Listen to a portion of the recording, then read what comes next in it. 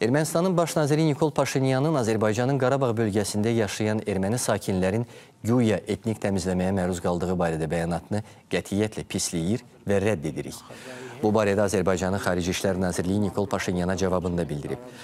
Azərbaycanın Qarabağ bölgəsində yaşayan erməni sakinlərin gedişinin onların şəxsi və fərdi qərarı olduğu, bunun məcburi yerdəyişməklə heç bir əlaqəsi olmadığı baş nazir Paşinyana yaxşı məlumdur.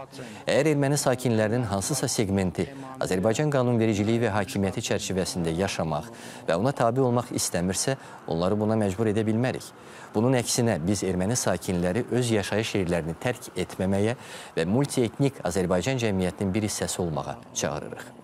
այն որոշումները, որ